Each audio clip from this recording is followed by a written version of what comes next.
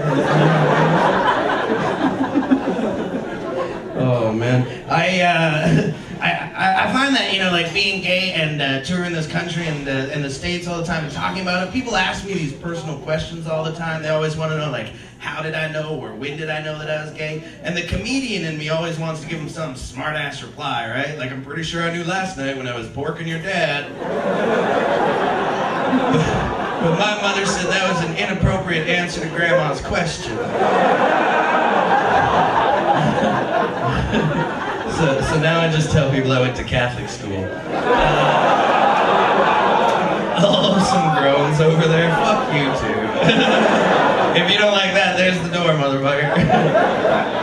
don't worry, after the show, everyone will get a free hug. you, son, I'm gonna hug a little longer. I've never been hugged from behind before.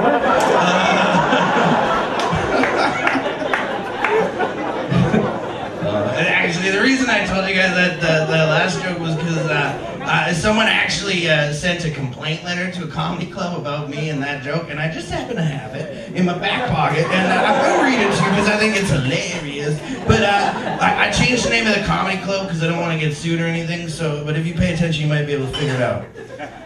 Dear Chuck Chucks. You guys are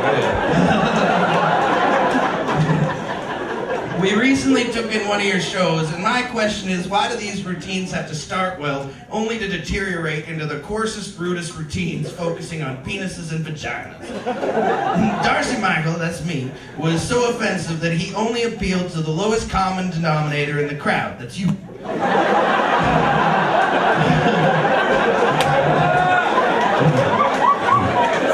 His joke about porking his dad was just one example. This is the best. It has been four days and I am still truly disgusted. like she sat there for four days going, that is disgusting. Regards, Martha Morrison. First of all, she signed her full name, so the first thing I did was look the bitch up on Facebook, right? I can write a letter too, Martha, you know, but she wasn't on there with a name like Martha Morrison. She's probably 90, right? So she's probably still on MySpace, so whatever, Martha. The only thing that makes me feel good about this letter is I realize a little piece of Martha probably died just typing porking his dad, and that warms my heart, right? That takes me to my happy place. Wait, but you guys heard the joke, you know, like technically I'm talking about porking my grandmother's father, right? That's my great grandfather. I'm not gonna pork my dad, Martha, that's fucking gross.